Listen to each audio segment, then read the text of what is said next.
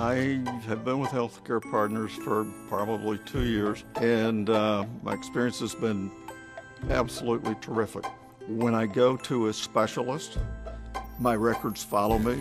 There's no need to actually provide any additional information. They know what's happened in my primary care doctor's office. Become a healthcare partner today. Medicare open enrollment starts October 15 and ends December 7. Learn more about how you can become a healthcare partner at hcpnv.com. News 46 is brought to you by Comfort Hospice Care, where we give our patients and their loved ones peace of mind, knowing we provide the highest quality of care 24 hours a day, 7 days a week. For more information, call 751 0349.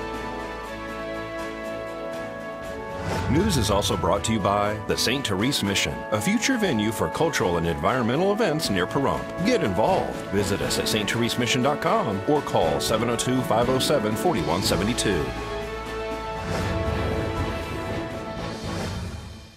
Tonight on News 46, a family dog dies as a result of a structure fire. The Holiday Task Force holds a Thanksgiving feast. And several accidents occur over the weekend. News 46 starts now. You're watching KPVM News 46 with Rhonda Van Winkle and Jason Koblenz. Local coverage from Deanna O'Donnell.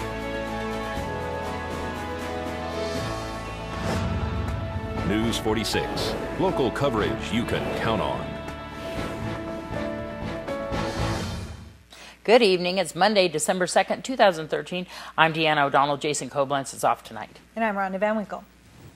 Happy Cyber Monday, everyone. Hope you had a wonderful Thanksgiving and Hanukkah. Today, Cyber Monday, Retailers are turning to the web to offer deals to consumers that they just can't pass up.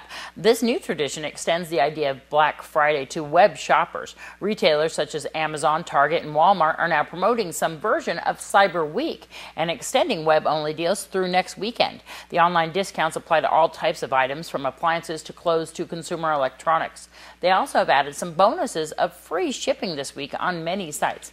In fact, if you're not getting free shipping on your online purchases this week, you may want to shop elsewhere. Thank you, Deanna. On Friday, the Clark County Fire Department crews responded to the Rio Hotel for multiple patients presenting flu-like symptoms, including nausea, vomiting, and diarrhea. 18 patients were transported via Rio Hotel shuttles to area hospitals. This included 13 children between the ages of 7 and 9 and 5 adults. The patients were part of a group traveling with a youth football team from Santa Monica, California. Over 100 people have been reported to have the symptoms of the virus, which has been confirmed as the norovirus. The norovirus is spread by food contaminated with fecal, water from person to person, or from unsanitary surfaces. Authorities believe that the virus was spread during the bus ride to Las Vegas. Well, the family dog died as a result of a structure fire that occurred on wood chips this weekend. Pahrump Valley Fire Rescue and Nye County Sheriff's deputies responded to a structure fire which occurred over the weekend on wood chips near Wilson Street. Upon arrival, crews found a well involved manufactured dwelling with several attached buildings. The two people inside the home were able to escape the blaze. However, one dog, which appears to be a Chihuahua, had smoke inhalation. Rescue crews attempted to save the small animal, giving it oxygen and also conducting CPR. However, the animal succumbed to the injuries. The home sustained substantial damage. The homeowners are being helped by family members at this time. Pahrump Valley Fire Rescue Chief Scott Lewis says that the fire appears to be the cause of unattended cooking. This is Deanna O'Donnell for News 46. Oh, we're very sorry about that. We hate news like that. There were several accidents that occurred over the weekend, uh, this holiday weekend, including a quad accident that required Mercy Air to transport an adult to UMC trauma in Las Vegas and Pahrump Valley Fire and Rescue to transport a child from the scene, which was located off Basin Avenue. And two vehicles also collided on Irene and Barney Street Friday morning. One person was transported to the hospital after sustaining injuries in that accident.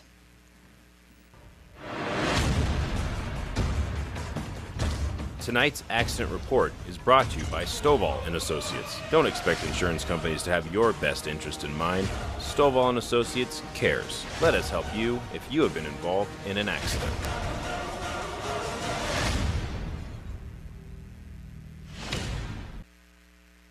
A two vehicle accident occurred on Irene and Barney Street. Pahrump Valley Fire and Rescue arrived on scene along with Nye County Sheriff's deputies who found both vehicles sustained moderate damage. One person was injured and transported to Desert View Hospital as a result of this accident. Nye County Sheriff's deputies are investigating the cause. This is Deanna O'Donnell for News 46. An emergency crews responded to an accident on Highway 160 in Happy Lane. According to reports, the parties involved declined to be transported by medic units. A two vehicle accident occurred on Friday morning on Highway 160 and Happy Lane. Pahrump Valley Fire and Rescue crews arrived on scene with Nye County Sheriff's deputies and Nevada Highway Patrol to find both vehicles that sustained moderate damage. However, no one was transported as a result of this accident. All declined to go to local medical facilities. Nevada Highway Patrol is conducting the investigation. This is Deanna O'Donnell for News 46. Deputies are investigating the cause of a single vehicle rollover that occurred Saturday night on Chipmunk Street. Nye County Sheriff's deputies and Pahrump Valley Fire Rescue arrived on scene to a single vehicle rollover on Chipmunk Street near Red Rock on Saturday night. Upon arrival, they found one vehicle resting on its side into a fence near a home. One person was complaining of chest pain as a result of the accident. It's unclear at this point if that person was transported via ambulance to the hospital. Nye County Sheriff's deputies conducted the investigation of the accident to determine the cause of the rollover. This is Deanna O'Donnell for News 46. And much more local news when we return from this break. Stay tuned.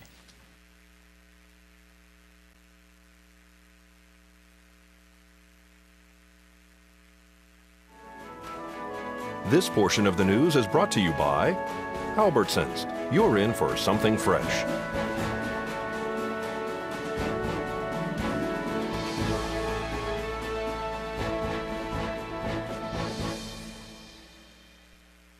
Welcome back to News 46. A small plane crashed in, a, in, an extremely remote part of Alaska on Friday, miles from the tiny village of St. Mary's. Rescuers had a hard time figuring out the location of the Cessna wreckage and its 10 passengers. One of the survivors, Melanie Coffee, called on the phone for help, but the poor weather, they said, it was so frustrating to find them. It was like a needle in a haystack to locate them.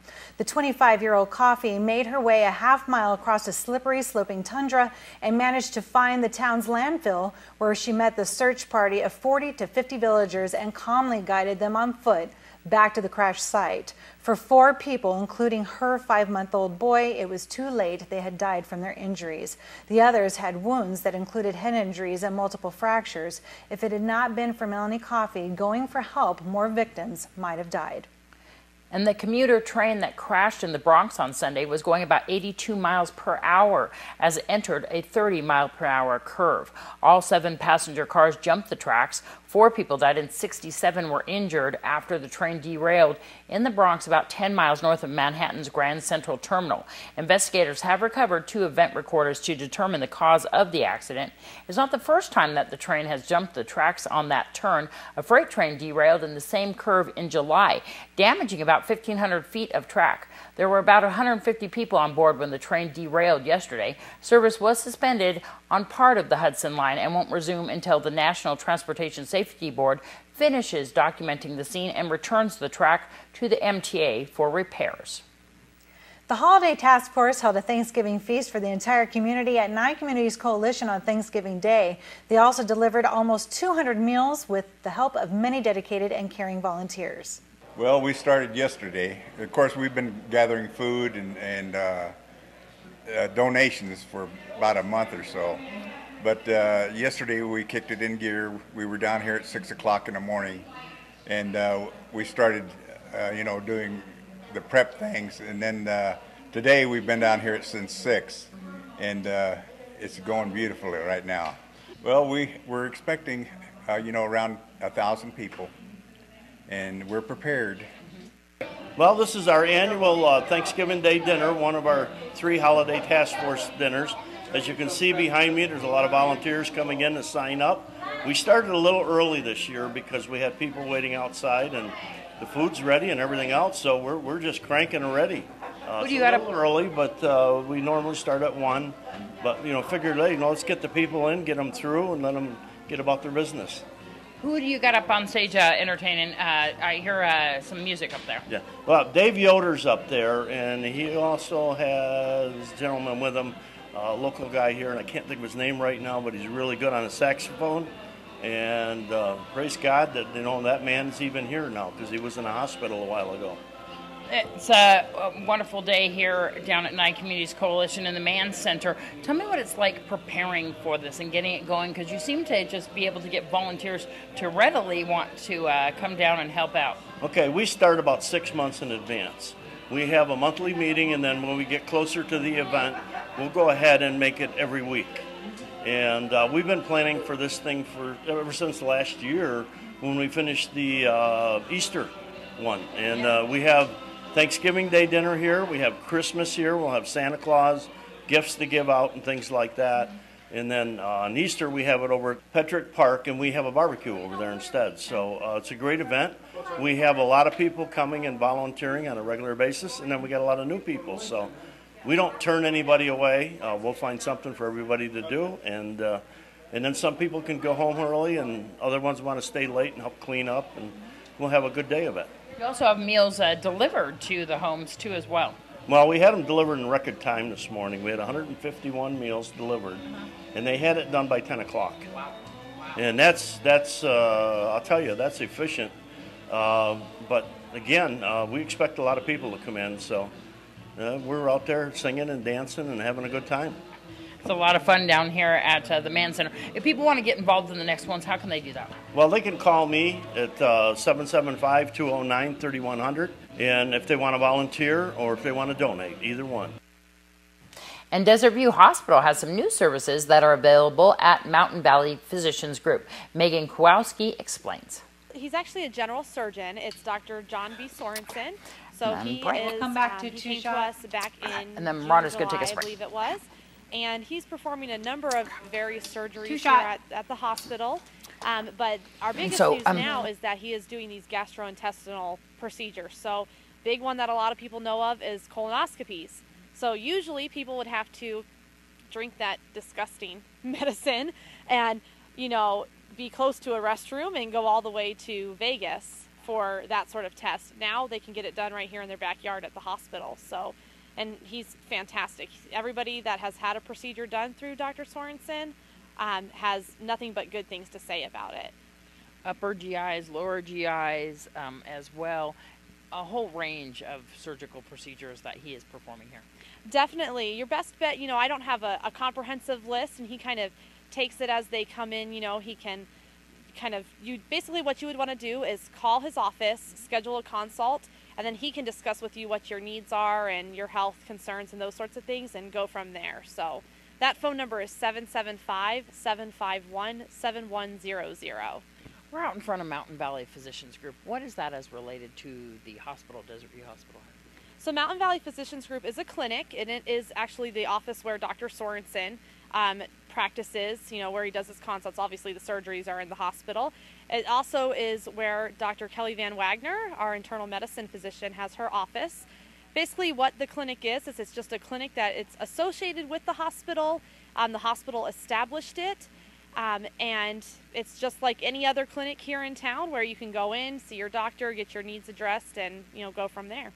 Dr. Sorensen is a primary care physician, like you said, or general medicine. You can pick him as your primary care physician too, as well. Dr. Sorensen is a general surgeon. He's not primary care. Um, Dr. Van Wagner is uh, internal medicine, which is basically the same as primary care. The main difference is that it's usually ages 18 and up, so no pediatrics. And she focuses on internal medicine focuses on adults. So there's a few things that are different medically, you know, when you get older and your body matures. So she focuses on those things. Would you need to be referred by your uh, uh, general practitioner to come to uh, Dr. Van Wagner or Dr. Sorensen? Nope, you know, obviously, Dr. Van Wagner is just like a normal family doctor, so you don't need a referral for that, um, no matter what your insurance is. For Dr. Sorensen, since he's a general surgeon, your best bet's always to check with your insurance provider, make sure that you won't need a referral. Some people might, some people may not. That's always dependent on their insurance, but not for Dr. Van Wagner. And the number once again. Well, could your airline tickets be on the rise? They're already expensive enough. And we will watch the tree lighting at the Pahrump Nugget. We will have all this when we come back. Please stay with us. So, um,